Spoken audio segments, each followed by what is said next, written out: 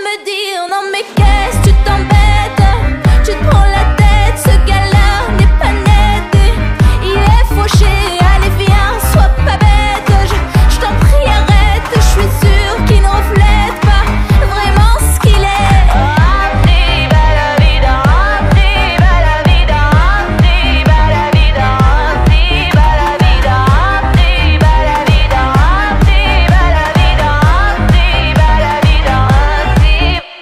Come on board.